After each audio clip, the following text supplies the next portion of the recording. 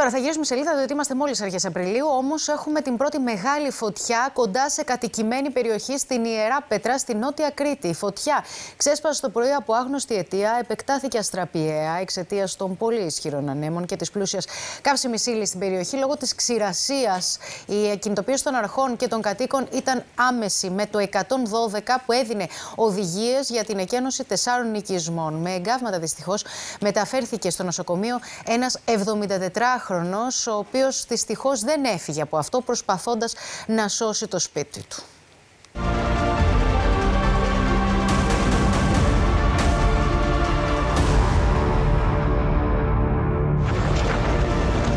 Η πρώτη μεγάλη φωτιά σε κατοικημένη περιοχή ξέσπασε μόλις στις 6 Απριλίου και το 112 έχισε για πρώτη φορά στο νομό Λασιθίου.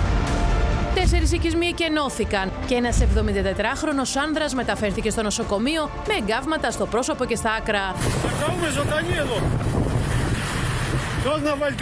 Η φωτιά ξεκίνησε στις 6 περίπου το πρωί κοντά στα σχηνοκάψαλα στην Ιεράπετρα από άγνωστη μέχρι στιγμής αιτία.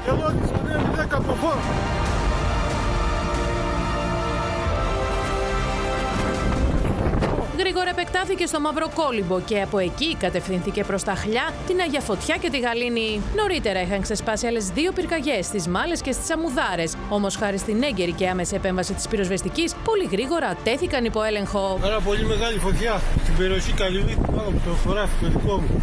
Πλησιάζει στα δέντρα.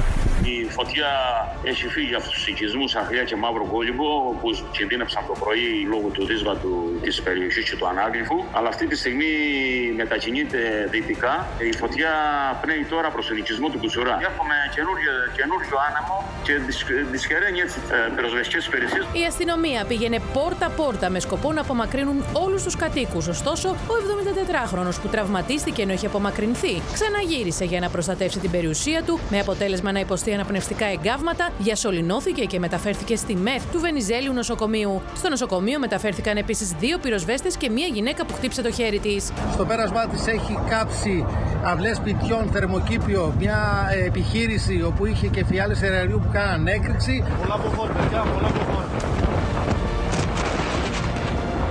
Η φωτιά συνεχίζει, έχει κάψει πάρα πολύ δάση, έχει κάψει για την κατάσβεση της πυρκαγιάς βρίσκονται μεγάλες δυνάμεις της πυροσβεστικής που έχουν φτάσει στο σημείο από όλη την Κρήτη. Αυτή τη στιγμή έχουμε ρήψεις και ελικοπτέρου. Ένα έριξον έχει έρθει και κάνει ρήψεις για να μην κατέβει η φωτιά και η πυρκαγιά στο δάσος εδώ που είναι πίσω μου που βλέπετε. Και οι εθελοντέ όμως από νωρίς το πρωί με λάστιχα στα χέρια βοηθούσαν όπου χρειαζόταν.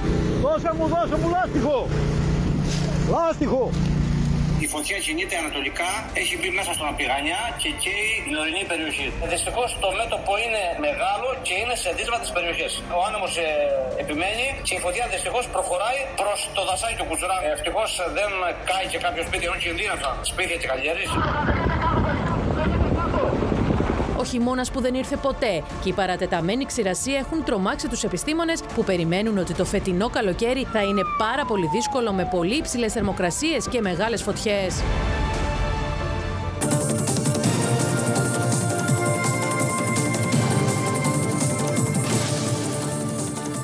Λοιπόν, βλέπουμε εικόνα ζωντανά από την Κρήτη, την αντιποκρίτριά μας Ευαγγελία Μαρινάκη. Ποια είναι τα νεότερα από το μέτωπο της πυρκαγιάς; Καταρχάς, να σε ρωτήσω αν απειλούνται οικισμοί αυτή την ώρα. Καλησπέρα, Κατερίνα, κυρίες και κύριοι. Όχι, αυτή τη στιγμή που μιλάμε δεν υπάρχουν σπίτια και κατοικημένες περιοχές που να απειλούνται. Η εικόνα λοιπόν αυτής της πολύ μεγάλης πυρκαγιάς που ξεκίνησε πολύ νωρίς το πρωί και πήρε πολύ γρήγορα διαστάσεις λόγω των ισχυρών ανέμων, Κατερίνα, που έφταναν ακόμη και τα 8 μποφόρ στην περιοχή, είναι πολύ καλύτερη από το απόγευμα και μετά. Η μεγάλη φωτιά που κινούταν προς το παρελιακό μέτωπο στον Μαύρο Κόλυμπο έχει ελεγχθεί, αλλά υπάρχουν ακόμη πολλές διάσπαρτες αιστείες σε δύσβατα σημεία στην περιοχή του Κουτσουρά, που Κατέρινα, όπως καταλαβαίνεις, δεν επιτρέπουν κανένα εφησυχασμό. Να σου πω ότι οι ισχυρές πυροσβεστικέ δυνάμεις βρίσκονται στην περιοχή, θα παραμείνουν εκεί καθ' όλη τη διάρκεια της νύχτας, καθώς οι άναμοι δεν έχουν κοπάσει. Μιλάμε για μια πολύ δύσκολη μέρα σήμερα, αύριο και μεθαύριο. Ναι, και, και να, πω, να πούμε υπάρχει ο κίνδυνος και αναζωπυρώσεων.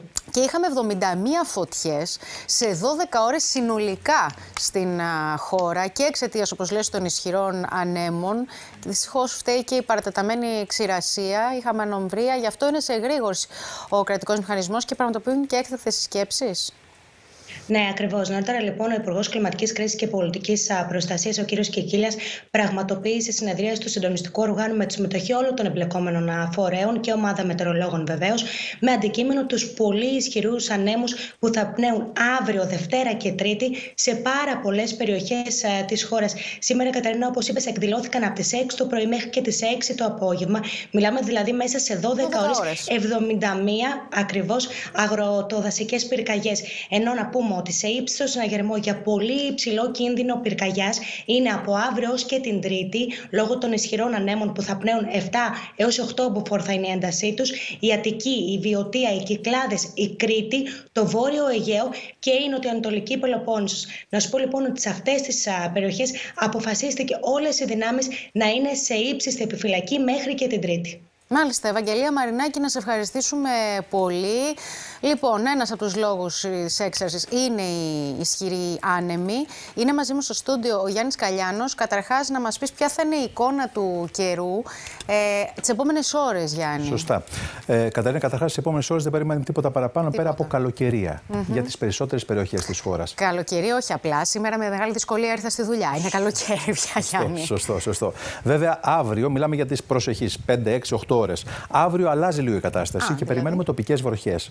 Περιμένουμε τοπικές βροχές στα ανατολικά και βόρεια υπηρετικά τμήματα. Δηλαδή περιοχές όπως η κεντρική και ανατολική Μακεδονία, η Θράκη, η Θεσσαλία, η Ανατολική Στερεά. ίσως στην Αττική βρέξει λίγο αύριο. Α, μετά το μεσημεράκι, κυρίως το δεύτερο μισό της ημέρας. Όχι όμως κάτι το ιδιαίτερο. Απογευματάκι, βραδάκι, ίσως μια πιθανότητα γύρω στο 20%. Όχι κάτι το φοβερό. Μην περιμένουν ραγδαίες βροχοπτώσεις οι τηλεθεατές μας και βεβαίως και λίγο στην βορειοανατολική Πελοπόννησο. Αυτό που παρουσιάζει ιδιαίτερο ενδιαφέρον είναι, ε, δηλαδή έχω ένα καλό νέο και ένα κακό για την Κρήτη. Ε, το καλό νέο ότι έρχονται κάποιες βροχές τη Δευτέρα και την Τρίτη. Το κακό είναι ναι, ότι δεν θα επηρεάσουν τις περιοχές Ιερά Δεν θα είναι εκεί που Δεν θα είναι, θα είναι στα βόρεια παράλια του νησιού Δευτέρα και Τρίτη. Άρα λοιπόν θα επηρεαστούν τα βόρεια παράλια που βλέπουν προς το Αιγαίο και όχι τα νότια τμήματα που αυτή τη στιγμή αντιμετωπίζουν προβλήματα από τις πυρκαγιές. Λοιπόν, να πάμε και στο θέμα των ανέμων. Ασφαλώς. Αυτή είναι η είδηση, ε, προσωπικά πιστεύω, των επόμενων ημερών, διότι από αύριο, ε, Κατερίνα, μέχρι και, δηλαδή από αύριο το απόγευμα κυρίως, μέχρι και τη Δευτέρα, μέχρι και την Τρίτη το απόγευμα, συγγνώμη, για 48 ώρες ξαφνικά θα ενισχυθούν οι άνεμοι στο Αιγαίο. Θα ενισχυθούν οι άνεμοι στα 7 με 8 μποφόρ σε τοπικό επίπεδο. Αυτό σημαίνει ότι θα πέσει και η θερμοκρασία σε σχέση με τις προηγούμενες ημέρες. Δηλαδή από τους 28-30 θα πάμε στους 20-22. Και θα διατηρηθεί αυτή η θερμοκρασία, ξανανεύει. Για δύο μέρες. Για δύο μέρες μέχρι και τη Δευτέρα Τρίτη και μετά πάλι θα αρχίσει να τραβάει την ανηφόρα. Άρα λοιπόν χρειάζεται μια ιδιαίτερη προσοχή. Και εδώ μπαίνει στην κουβέντα και η κλιματική κρίση, ε, την οποία αντιμετωπίζουμε τα τελευταία χρόνια. Διότι αυτά που βλέπουμε τώρα στην Κρήτη, φωτιές, ξηρασία παραταταμένη, αυξημένε θερμοκρασίε είναι κάτι το οποίο δεν το βλέπαμε πριν από 10 και 15 χρόνια. Τώρα ξεκινάνε οι φωτιές από τον Απρίλη μήνα. Παλιά ξεκινούσαν μέσα στο καλοκαίρι. Ε, Άρα λοιπόν χρειάζεται να είμαστε προσεκτικοί. Και ιδιαίτερω το επόμενο διήμερο, Κυριακή Δευτέρα μέχρι και Τρίτη, γιατί θα έχουμε πολύ ισχυρούς ανέμους στο Αιγαίο που ίσως δημιουργήσουν προβλήματα και στις θαλάσσιες συγκοινωνίες. Α, μάλιστα. Ωραία. Γιάννη Καλιάνου, να σε ευχαριστήσουμε πολύ. καλά.